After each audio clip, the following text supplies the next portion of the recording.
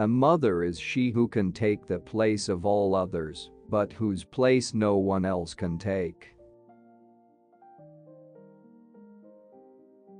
The influence of a mother in the lives of her children is beyond calculation. A mother's arms are made of tenderness, and children sleep soundly in them. Motherhood is the greatest thing and the hardest thing. There's no way to be a perfect mother and a million ways to be a good one. A mother's love is the fuel that enables a normal human being to do the impossible. A mother is not a person to lean on but a person to make leaning unnecessary. A mother's happiness is like a beacon, lighting up the future, but reflected also on the past in the guise of fond memories. Mothers hold their children's hands for a short while, but their hearts forever. The best place to cry is on a mother's arms. A mother's love is patient and forgiving when all others are forsaking. It never fails or falters, even though the heart is breaking. A mother's love is the greatest teacher, teaching kindness, love, compassion, and respect.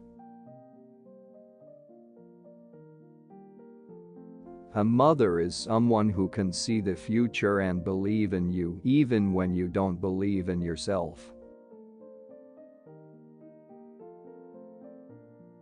A mother's heart is a patchwork of love.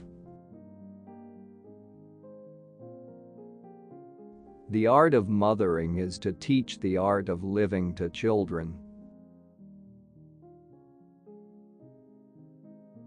The love between a mother and daughter is forever.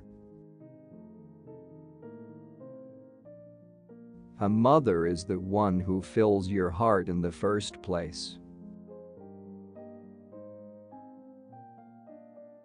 A mother is the one who can take the place of all others, but whose place no one else can take.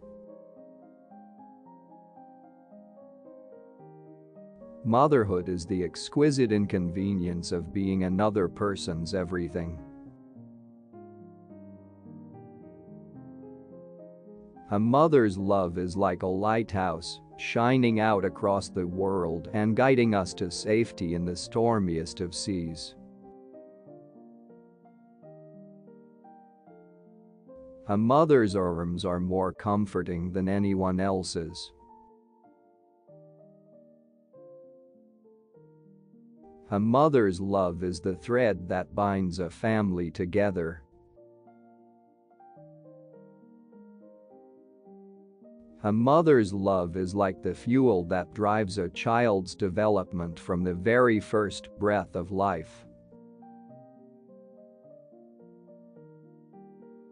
A mother's love is like a beacon of light, guiding us through life's uncertain paths.